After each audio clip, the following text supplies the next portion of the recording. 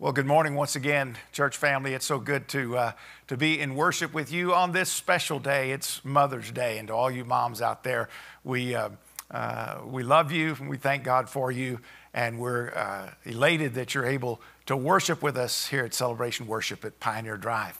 Let me encourage you to open your Bibles to uh, the little letter of Second Timothy near the uh, near the two thirds of the way through the Old, uh, the New Testament, probably uh, more than that. Uh, Second Timothy comes right before Titus, Philemon, and Hebrews, and we'll be in the first chapter. We're just going to read this passage and really not come back to it until we get near the end of the sermon. So if you have that passage, uh, or if you can see it on your screen, if you're watching and worshiping with us by way of the internet, let's stand, if it's possible for you to do so, in honor of the reading of God's Word. Second Timothy chapter 1. I'll begin reading at verse 3. The Apostle Paul writes to Timothy I thank God, whom I serve with a clear conscience, the way my forefathers did, as I constantly remember you in my prayers night and day, longing to see you, even as I recall your tears, so that I may be filled with joy. For I am mindful of the sincere faith within you, which first dwelt in your grandmother Lois and your mother Eunice, and I'm sure that it is in you as well. May God add His richest blessing to this, the reading of His Word, and may His Holy Spirit apply the preaching and the teaching of His Word to our hearts and to our lives this day. Go ahead and be seated. I'm grateful this morning for the music that's already been shared, and, and uh, uh, thank you to Danny and uh, the team for uh, leading us in worship. Grateful for Libby singing that uh, beautiful solo. And uh, goodness, she's just uh, eight years old. And uh, uh, when I was eight years old, I could barely tie my shoestrings. And here she is singing uh, solos on Mother's Day. And it, it's so beautiful and lifts up our heart. You know, children sometimes show keen insight into living and, and into matters of, of family and even marriage. I received from uh, someone not too long ago a list of children's responses to some serious questions about marriage. I thought I might just share some of those with you. To the question, how do you decide who to marry? 10 year old Alan responded, You got to find somebody who likes the same stuff.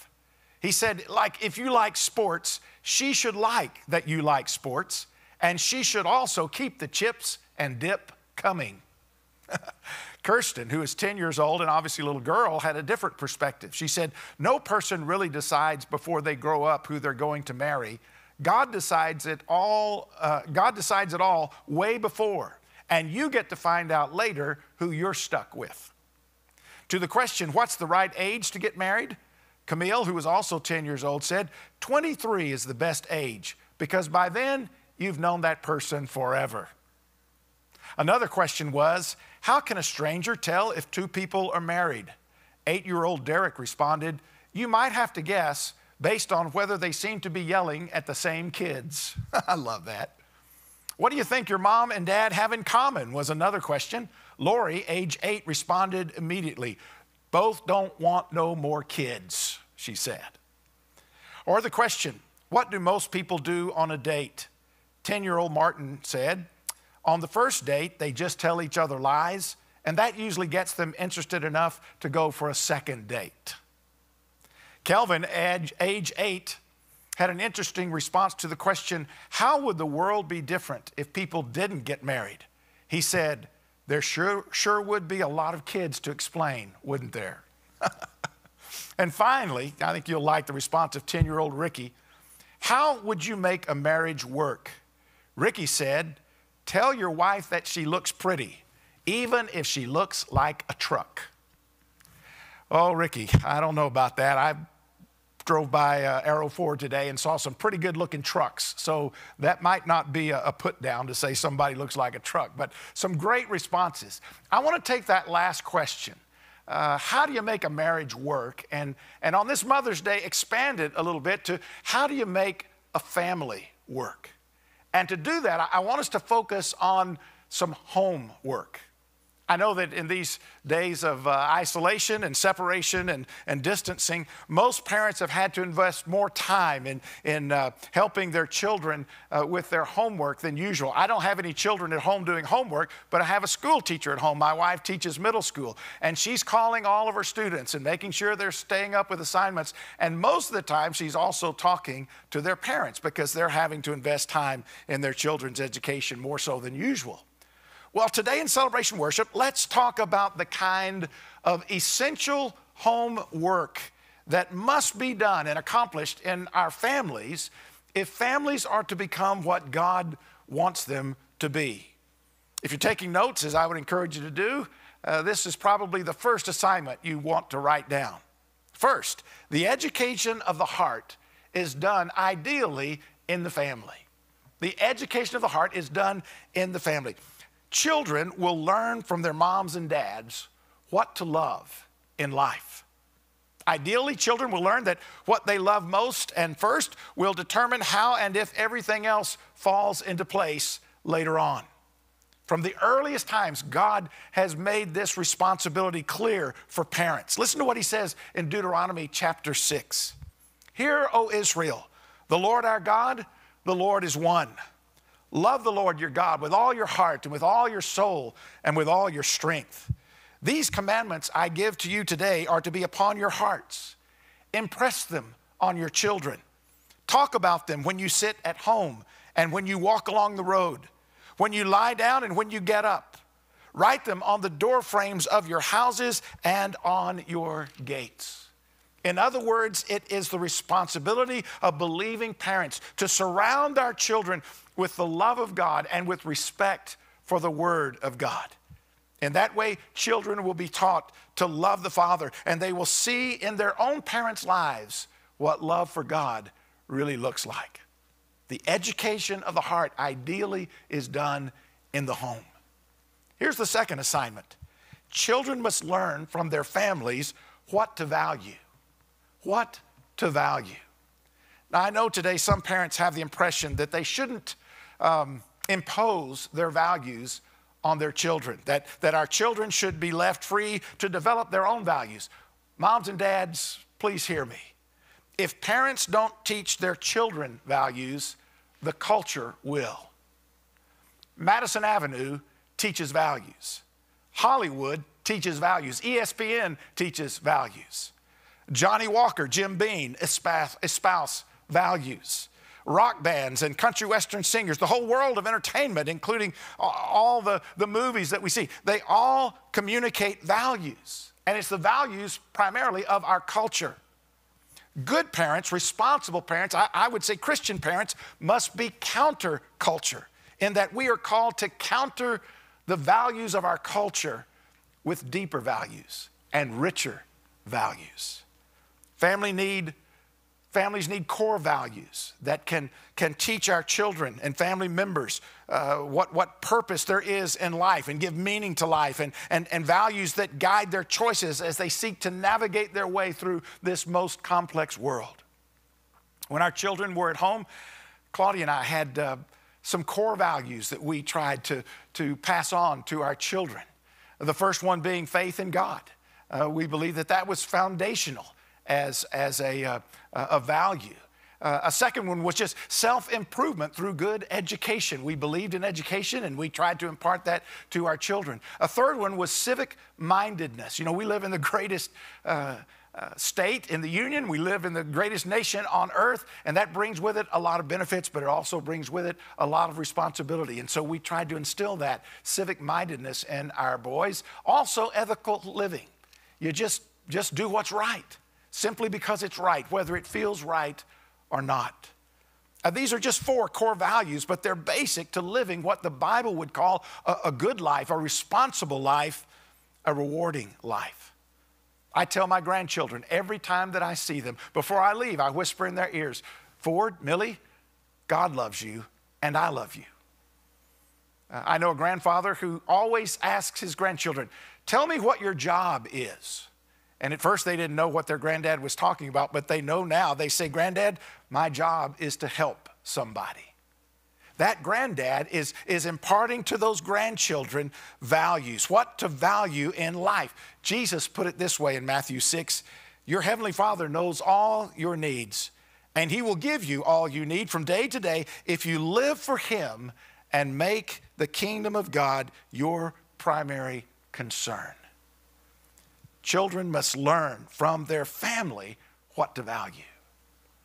Here's the third assignment families are about time together. Time together. You know, pollsters report to us that parents spend 40% less time with their children today than parents did in the 1950s. In particular, dads, I think we are uh, more guilty of this than, than the moms. On the average, dads spend less than 30 minutes per week engaged in conversation with their children. That's about four and a half minutes per day. USA Today reports that 60 67% of American households eat their meal at night in a room where the television is blaring or it's blaring in an adjacent room, virtually making good conversation uh, impossible because of all the noise that's going on. Children need more parental time today because, for one thing, they have fewer adults to count on. And secondly, their world is far more dangerous and complex than the one in which we grew up. Children want to be close to their parents. I remember hearing from a fellow minister not long ago about a new family that had moved into their town and they had joined this pastor's church. They were from out of state. And they had a 12 year old boy who was having a really difficult time adjusting to the newness of it all. And they asked the pastor if he might visit with the boy, and he sat down. And as they talked, the boy said, Yes, sir, I'm having a hard time. He said, It's a, it's a whole new set of friends, it's a whole new church, and a whole new neighborhood, and whole new school. But he said, Really, it's a, it's a new house, too. And, and the pastor picked up on that. He said, You mean you, you don't like your new house? He said, No, sir, I don't. He said, What's wrong with it? He said, It's too big. He said, I liked our old house, it was smaller. He said, I could go to bed at night, and the last thing I would hear would be my parents down the hall talking. Or we'd spend time at the, at the, at the table in the kitchen and we'd just sit there and we'd talk together. And, and that's where I did my homework, and everybody sort of pitched in and helped me out. But, but our new house is so big that everybody's too far apart. Parents, don't underestimate your child's desire for you to be close to them. They may not always express it, but it's there. They like familiar places, they like routines.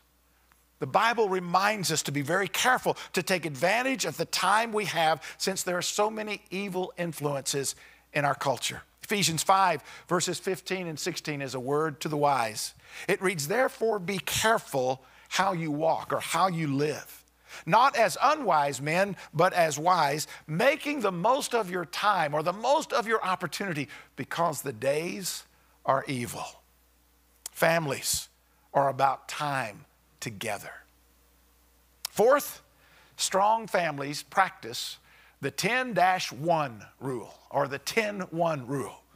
That means that they make roughly 10 positive comments for every one negative comment. They also find positive, creative ways to help their children uh, resolve sticky situations. When I was uh, growing up in Southern California from 1965 to 1972, uh, those were my junior high and high school years. Our church was in Long Beach. And uh, there was this particular girl in our, our youth group that was very popular, and her mom was kind of a mom for the whole youth group. I, I, imagine nearly every church youth group has a mom like that, or at least needs a mom like that. She, she understood us as teenagers, she got us. Uh, she wasn't particularly educated, but she was wise and she was compassionate. Well, her daughter became friends with a girl at her high school. The girl didn't go to our church, didn't go to any church. And this particular friend uh, found it easy to get into trouble. In fact, a lot of times she made trouble. Uh, she was one of those teenagers for whom there was just a fine line between fun and a felony. Uh, we all know kids like that. Well, my church friend's mom said to her daughter, Hey, I want you to be friends with whoever you choose to be friends with. And when your father or I are at home, you can invite any of your friends to our house and we will welcome them, and you guys are free to hang out here. But, and she said this very carefully, this friend that you have recently made at school, um, she just has a knack for making poor decisions. And we don't want you to be alone with her uh, when she makes a decision that might get you all in a dangerous situation. Again, she's welcome here anytime. Well, her daughter understood that and accepted her mom's counsel, invited that friend to come over to her house. She did, and that friend began to see what a stable, accepting, loving environment could be like. Soon she was spending most of her time at that family's home. Her life began to settle down. She even started going to our church with this family. In time, she trusted Christ as her Savior and she was baptized and she began to grow in her relationship with Christ. Eventually, years later, she married one of the boys from our youth group. She's now a retired school teacher in California and lives and is married to that same boy from 40 plus years ago. What that wise mother proposed and did was healthy, it was positive, it was creative, and it was thoughtful. It didn't embarrass her daughter, it didn't embarrass her daughter's friend. In fact, in the long run, it wound up making an eternal difference in the lives of a lot of folks. Parents, if you don't know how to handle sticky or difficult situations like that, ask God for wisdom. In James chapter 1, verse 5, uh, James tells us that uh, uh, if, if we lack wisdom, we ask of God, who gives to all men liberally. If you genuinely lack wisdom and, and desire it from God, God will give it to you if you ask with a willingness to obey. Remember that 10 1 rule, maybe a 21 rule. Say 20 good things for every one negative thing you share. I love how Paul expresses this over in Ephesians chapter 4, verse 29. He says, Let no unwholesome word proceed from your mouth, but only such a word as is good for edification, according to the need of the moment, that it may give grace to those who hear. Practice that 10 1 rule. Here's a fifth assignment strong families have a knack for optimism and joy, even in the midst of problems. Strong families have problems. Pastor, do you mean that, that, that, healthy families encounter conflict and disagreement? Of course they do. But they learn how to work through those conflicts openly, honestly, and most importantly, with kindness so that as soon as possible they can return to a state of, of calmness and peacefulness. Unhappy families and unstable families do just the opposite. They nurse the pain, they hug the grudge, they blow up small disagreements into all out wars. Uh, if you've ever watched Seinfeld, Seinfeld, I'm talking about the Costanza family. It's that family that's always making a mountain out of a, a, molehill. They build skyscrapers of conflict on top of minor incidents, things that hardly even matter. You know, healthy families uh, learn how to deal with these kinds of issues, and they also learn how to laugh with one another. I read this week, somebody said, um, if you're going to laugh about something eventually, you might as well go ahead and laugh about it now. I like that. I, I wish I had learned to do that a lot earlier. About uh, four weeks ago, I was in Waco visiting my sister who has just been uh, diagnosed with Alzheimer's. And uh, as I was leaving Waco, it was getting close to dusk, but I realized it had been a long time since I'd been out to the old Concord Cemetery. It's a cemetery, not large at all, about uh, maybe eight miles from downtown Waco. It's out by a little community of Bellmead. It's really out in the sticks. It's right across a country road from what used to be the James Connally Air Force Base. It's now a TSTI campus.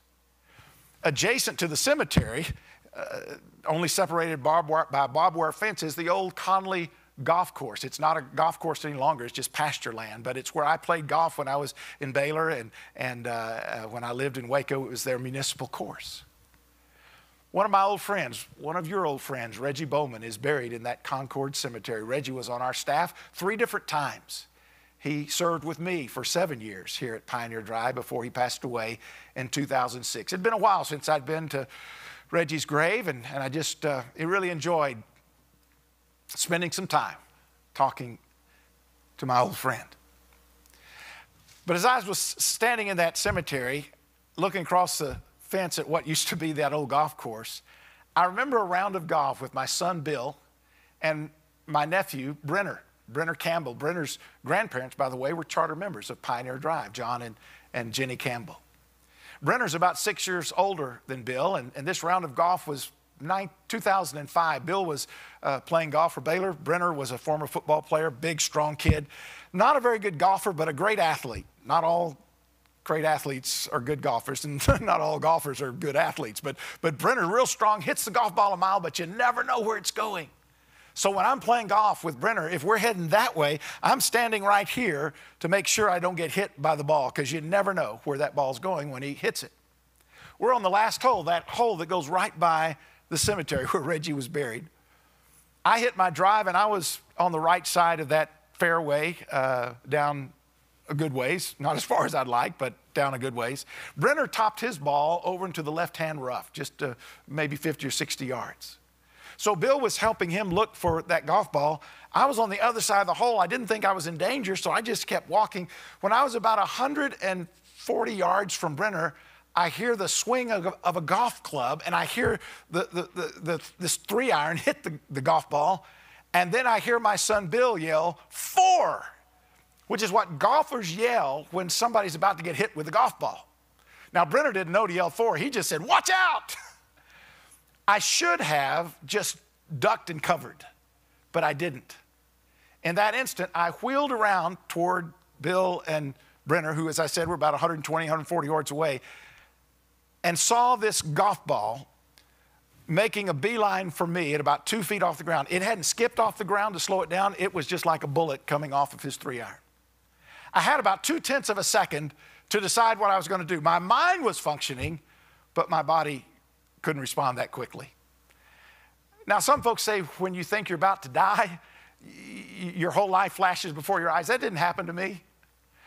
What flashed before my mind was that scene of Evel Knievel making that jump or attempting that jump in Caesar's palace, at Caesar's palace in Las Vegas at night, going through the fire, and then he's coming over the top of that jump, a couple of hundred feet, and he loses control and he crashes on the asphalt and his body just bounces along and he breaks about 120 bones in his body.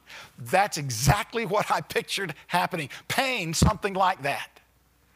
Before I knew it, that Titleist projectile hit me in my right shin at about 120 miles an hour.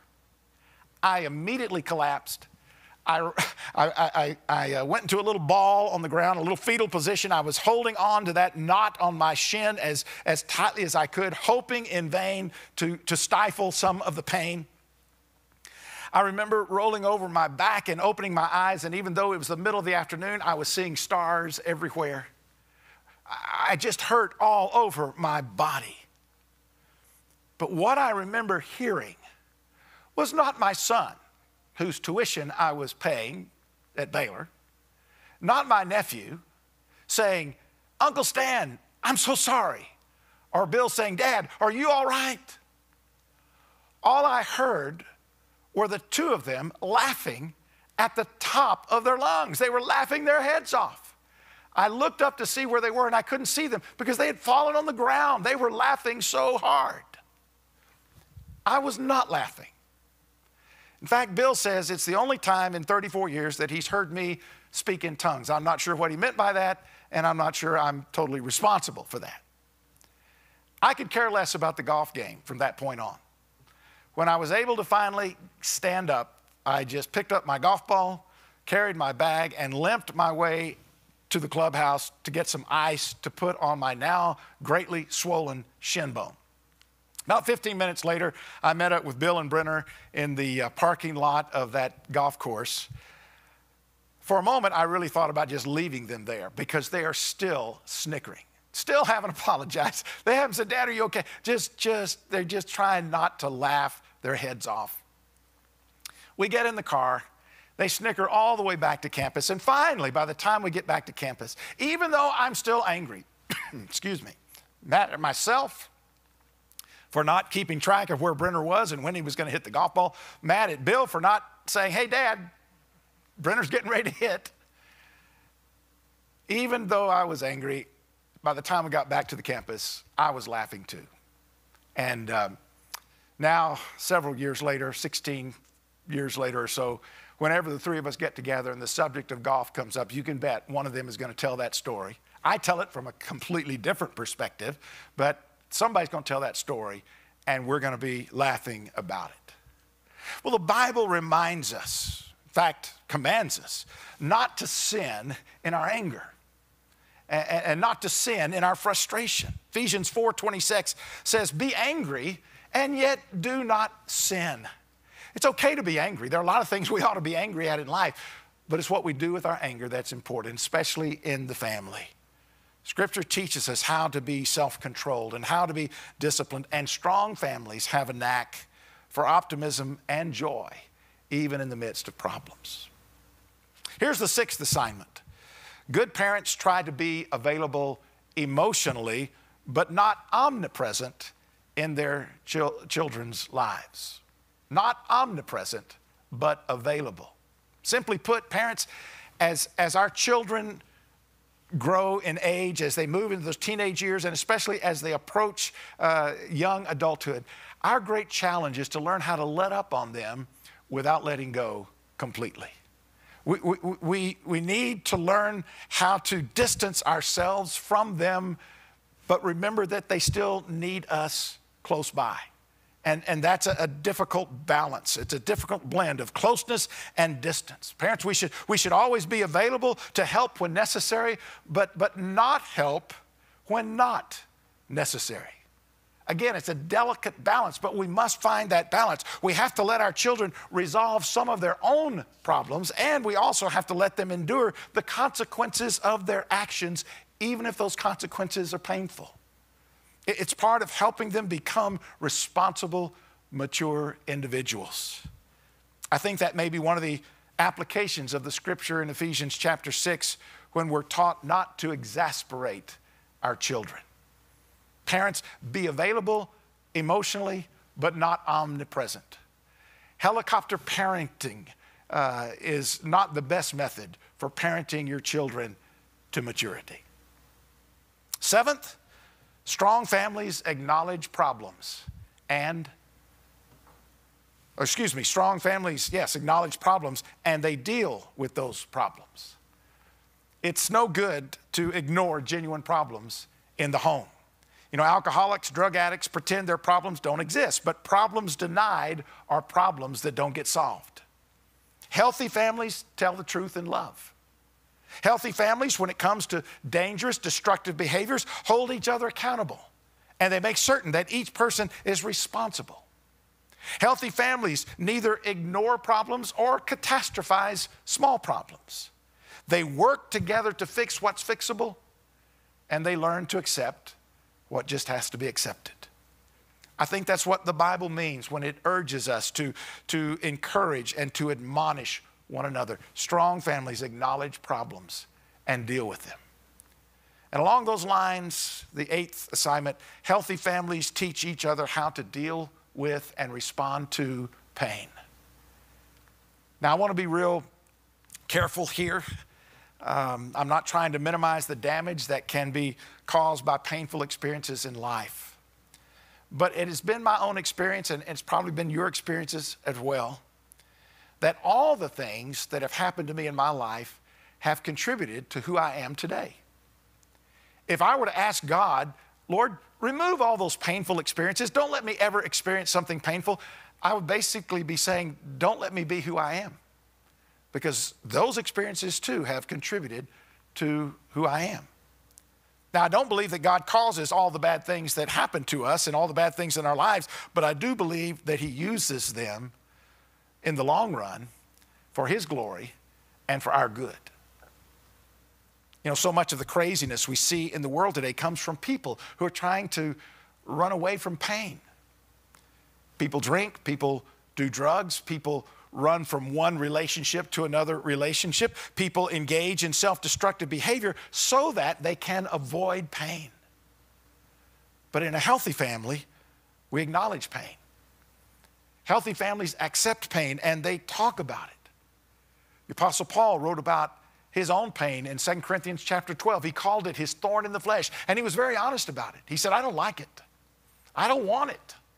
On three occasions, he asked God to take it from him. But in the long run, Paul discovered through his pain that God's grace was indeed sufficient for all the pain he was suffering and all the failures that he had to endure. Through it all, God was with him. I love the song from the 1970s by Andraé Crouch. In fact, it's entitled Through It All. He says, So I, I, thank God for the mountains, and I thank Him for the valleys, and I thank Him for the trials He's brought me through, because if I never had a problem, I wouldn't know that God could solve them, and I wouldn't know what faith in God could do. You know, God teaches us lessons about faith, lessons about our own lives, lessons about our relationship with Him. He teaches us those sometimes in a hospital room. Or he teaches us those lessons sometimes through a difficult job, or sometimes in a courtroom. Lessons we could never learn in Sunday school or in a revival meeting. If handled properly, if handled wisely, difficulties and pain can make us more sensitive can make us more transparent and more understanding. That pain can help us grow so that we're more fully human and caring about the pain and the needs of others. I think the Apostle Paul knew that about himself, and that's why he could write to the church at Philippi in the fourth chapter of Philippians, saying, I've learned how to be content, whatever the circumstances. I know what it is to be in need, and I know what it is to have plenty. He said, I've learned the secret of being content in any and every situation, whether well fed or hungry, whether living in plenty or in want. I can do everything through Him who gives me strength. Healthy families teach each other how to deal with and respond to pain. And then finally, strong families pass on their faith in God. Back in our text, we read at the beginning of the sermon, in 2 Timothy, we read about Eunice, who was Timothy's mother. She was a strong believer, as was her mother, whose name was Lois. But her, her husband, we learn from the 16th chapter of Acts, was not a believer. He was not a Christian. And even though Eunice didn't have that help of a committed Christian husband, Timothy grew up to be one of the most influential Christians of that first Christian century. In fact, you know that Timothy was co signatory of six of the New Testament letters written by the Apostle Paul? And in 1 Corinthians chapter 4, we're told that Paul looked upon Timothy as his adopted son in the faith. What was it that made that difference in Timothy's life? Well, Eunice, his mother, and Lois, his grandmother, loved him enough to give him their most precious possession. In the face of less than ideal conditions and circumstances, they succeeded in passing on to their son and their grandson their faith in the Lord Jesus Christ. Moms and dads, grandparents, that ought to be our number one objective in life. It was in fall of 19, excuse me, of 2018 that um, my wife Claudia uh, drove up to Norman, Oklahoma to babysit our two grandchildren and allow our son Bill and his wife, uh, uh, Bill and Mallory, the opportunity to, to take uh, four days off. It was one of those four day weekends that teachers rarely get, but she, she decided to go up there and, and, and uh, uh, give her time to babysit. She loves being with those grandchildren, as do I, but I couldn't get away. So Claudia went up there to take care of the kids, gave Bill and Mallory that opportunity to, to have a few days uh, on, a, on, a, on a trip together.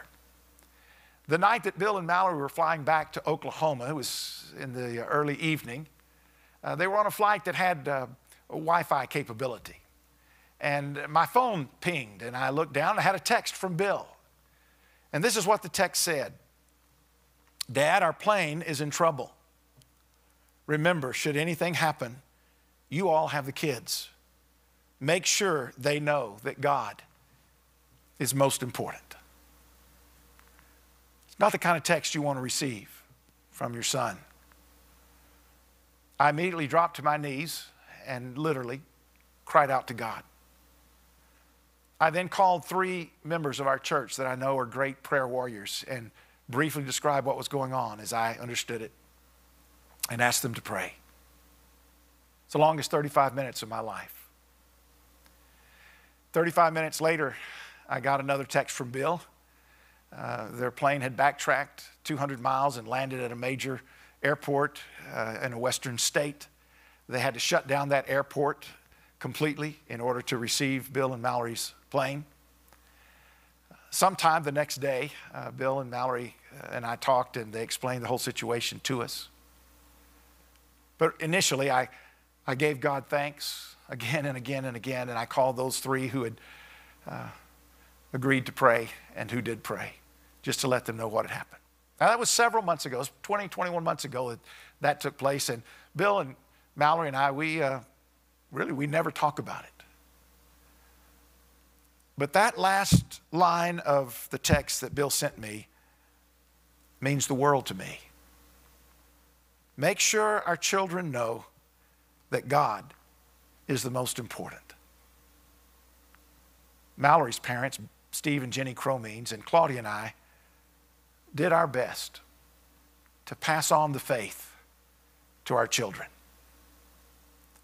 And in what could have been Bill and Mallory's last message to us, their most important desire was that their children have the opportunity to know Jesus and to place their faith in Him. Moms and dads and granddads and grandmoms, as you help your children do their homework during these days of isolation and pandemic, don't forget to do that essential, that vital home work that we have to do as families to become the families that God wants us to be. And as you focus on the education of the heart, as you instill those values in your children and your grandchildren, as you strive to spend quality time together and practice that 10 to 1 rule of encouragement, as you learn how to let up without letting go, and as you deal positively with pain and with problems, make certain, make absolutely certain that through it all, you're passing on to them your most precious possession that is your faith in the Lord Jesus Christ.